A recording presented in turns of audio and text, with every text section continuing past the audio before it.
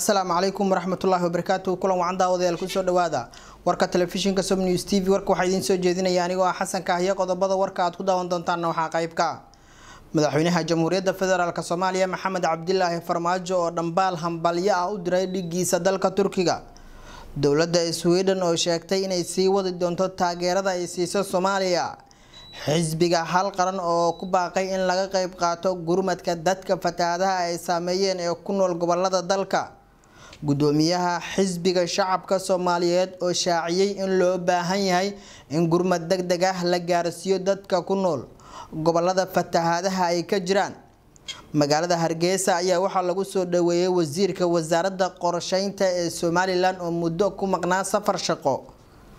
Xuska maalinta jamhuuriyadda turkiga oo muqdisho lagu qabtay taliska ciidamada qalabka sida ee dowladda federaalk soomaaliya ee ka howlgala galmudug oo guddi u saaray caawinta dadka fatahaadaha ay saameeyeen ee ku nool gobolka hiiraan.